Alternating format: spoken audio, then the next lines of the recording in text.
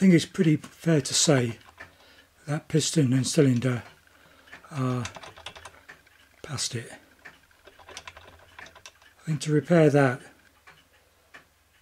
I'd have to get somebody to rebore the cylinder and make a new piston and that's assuming there's enough metal left in the cylinder to rebore it which is not uh, guaranteed but it's pretty obvious why. Most of the steam is escaping past the piston.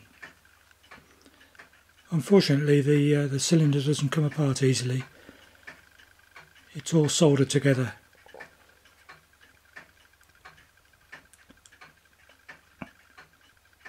I could unsolder it, but um, is it worth it? it runs sort of on compressed air.